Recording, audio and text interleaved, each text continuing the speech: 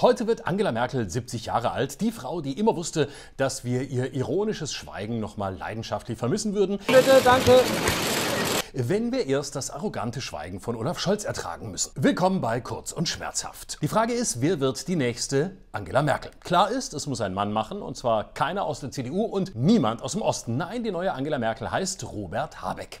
Der hat ihr schon vor ihrem Geburtstag gratuliert, und zwar im Rolling Stone. Das ist die Bravo für Erwachsene. Nur ohne Dr. Sommerteam. Das Tolle war, Habeck schrieb vordergründig über Merkel, aber eigentlich über sich. Ich zitiere.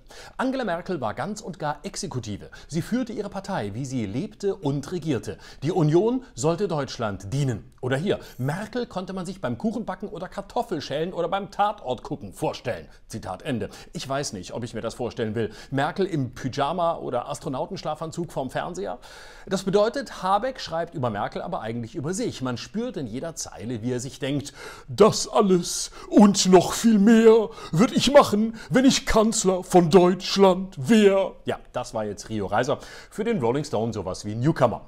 Habeck sagt weiter, Merkel wollte uns alle Zumutungen ersparen. Und dann stellt er mitten in einer Grußbotschaft an Merkel sein eigenes Regierungsprogramm vor. Nicht nur analysieren, sondern auch handeln. Nicht nur nüchtern sein, sondern einnehmend. Im Grunde möchte Robert Habeck Angela Merkel plus X sein, plus Emotionen und plus Erklärbier-Qualitäten. Und wenn man ihn heute sieht, wie er für uns leidet, wenn er spricht, muss man sagen, das kann klappen. Er ist für mich schon jetzt sprachlich der Herbert Grönemeyer der deutschen Politik. Jetzt kann man natürlich einwenden, welche Chance hat denn bitte Robert Habeck Bundeskanzler zu werden? Der Chef irgendeiner 15%-Partei? Richtig gar keine. Der nächste Bundeskanzler wird, und da lege ich mich jetzt mal fest, Friedrich Merz. Und der muss dann nach der Wahl schwarz-grün machen. Und dann greift das, was von Merkel bleibt. Ich nenne es das Merkelsche Paradox. Jeder Regierungschef muss die Reformen umsetzen, die ihm radikal widersprechen. Es war eine neoliberal-konservative Kanzlerin wie Merkel, die aus der Kernkraft aussteigen musste und den Mindestlohn einführen musste. Es muss also Friedrich Merz sein, ein verknöcherter Mann von vorgestern, der seinen Albtraum und den Traum seiner Erzfeindin Merkel in die Realität überführen muss. Schwarz-Grün.